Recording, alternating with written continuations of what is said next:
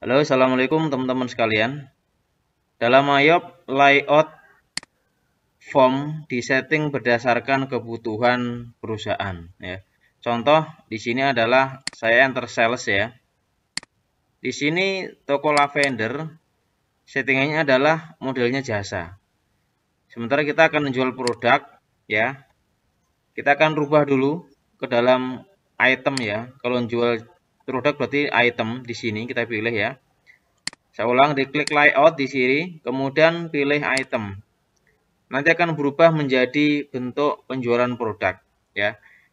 Atau profesional atau time billing ya dan miscellaneous tergantung kebutuhan. Nah, jadi kalau nggak dirubah dari awal maka akan membawaan seperti ini. Kita rubah ke item. Nah, setelah dirubah maka kita bisa menjual produk sesuai dengan kolom-kolom yang dibutuhkan. Nah, seperti ini, ya. Ini cara untuk merubah layout. Nah, cara yang kedua, cara pertamanya adalah waktu transaksi ya. Cara kedua, kita bisa rubah dari card file di sini. Ini apabila belum disetting dari awal ya, card list, ya. Kita pilih dulu customer, misalkan customer, ya.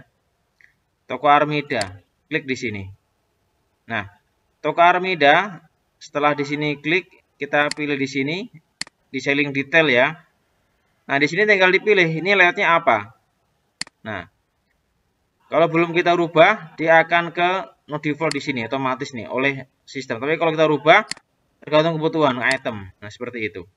Nah, jadi teman-teman tinggal dipilih, waktu nyeting awal seperti ini. Ini apabila belum belum dirubah, tinggal dirubah di sini. Ya. Begitu juga untuk yang supplier sama ya.